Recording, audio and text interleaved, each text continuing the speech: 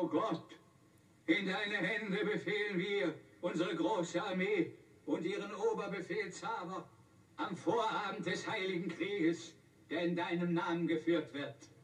Und bewirke im Namen deines Propheten, unseres großen Gesetzgebers, dass wir, deine erwählten Diener, siegen.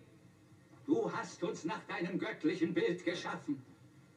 Und wir bitten dich um die Kraft und die Stärke deines göttlichen Vorbildes würdig zu sein, uns die geistige und körperliche Vollkommenheit zu erhalten, die du uns geschenkt hast und die du in deiner unendlichen Weisheit unseren brutalen Feinden vorenthalten hast. So sei es.